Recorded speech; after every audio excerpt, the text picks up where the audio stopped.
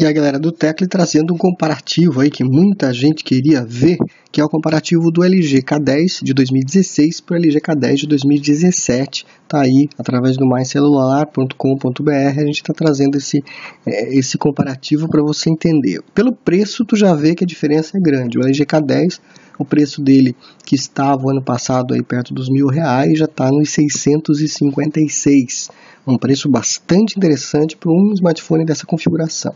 O novo, claro, bem mais caro, praticamente o dobro desse preço, está na faixa dos R$ 1.200. Mas será que vale a pena?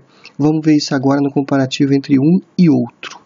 Vantagens, segundo o mais celular aí de um para o outro, é que o LG K10 2017 tem, é um octa-core rodando a 4 núcleos a 1.5 GHz e outros 4 a 1 GHz, tecnicamente ele teria vantagem diante do LG K10 do ano passado, que está é, 4 núcleos rodando a 1.1 GHz e outros 4 a 1.0 GHz. Ambos têm a plataforma de 64 bits. O do ano passado tem 1 GB de RAM e a desse ano tem 2 GB de RAM, isso é uma vantagem sim no processamento para o LG K10 2017.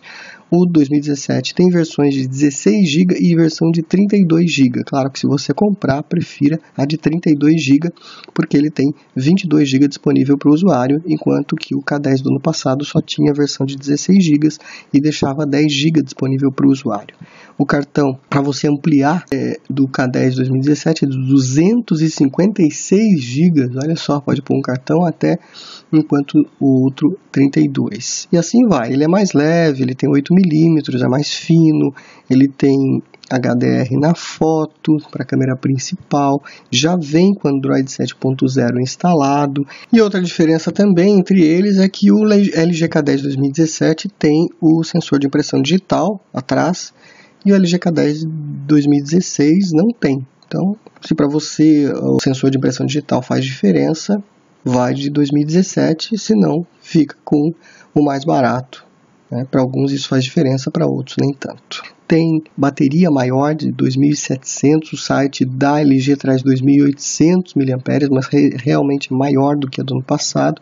Ele é 4G, com maior velocidade diante do LG 4G do ano passado, tem bússola, tem redutor de ruído de gravação e também tem o Bluetooth 4.1 a 2DP diante do 4.0 Bluetooth do K10 do ano passado.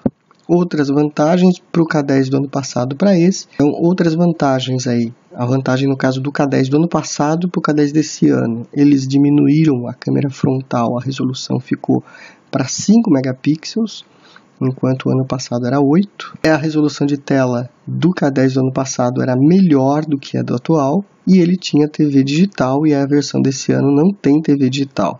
Então, tá aí. Se você gosta de TV digital, fica com o K10 do ano passado. Se você gosta de uma tela com melhor definição, K10 do ano passado.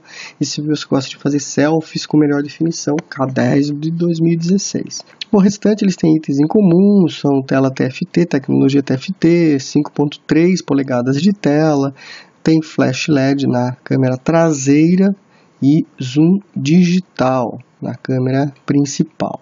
Ambos são dual SIM standby com dois chips. As fotos, no caso, eles ambos têm câmera traseira de 13 megapixels, ambos gravam em Full HD, tem flash LED e abertura de 2.2, então nisso os smartphones não mudaram com relação a foto, imagem, eles praticamente são idênticos do ano passado para esse ano. Então se o teu negócio é fotografia, vai de K10 que você vai ficar melhor, vamos dizer assim, vai pagar menos e vai ter praticamente o mesmo equipamento com a diferença do HDR na câmera principal que o K10 não suporta. O restante, ele, o K10 é até superior com relação a a câmera frontal que tem 8 megapixels com relação também à definição de tela, como já foi dito. Ambos têm FM com RDS e a diferença é que ano passado tinha TV digital e esse ano também não tem.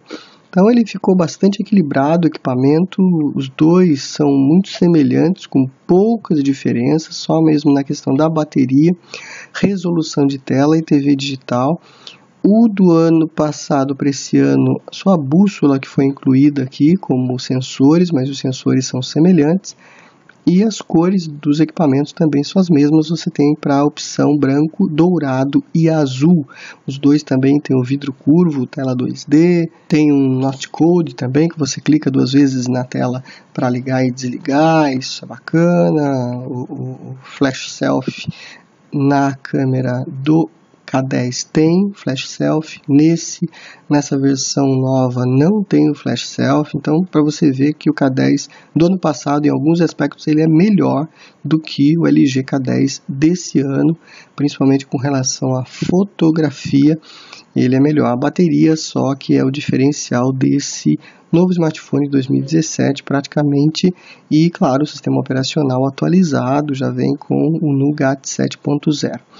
Para a diferença de preço ser tão grande de um para o outro, olha, sinceramente, a opinião do Tecle iria de K10 2016.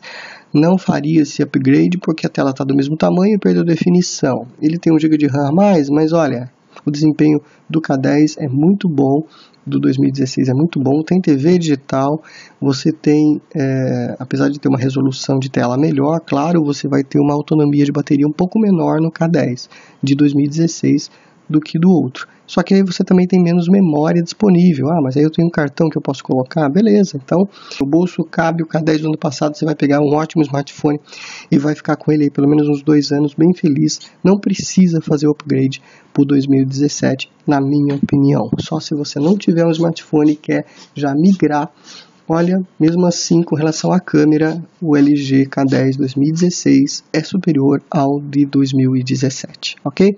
Essa é a opinião do Tecle, você pode ser que ache algo diferente né, do que eu também acho, então coloque aí suas opiniões. Espero que vocês tenham gostado. Até o próximo vídeo, deixem aí suas opiniões para a gente poder continuar aprendendo juntos. Abraço a todos e até lá!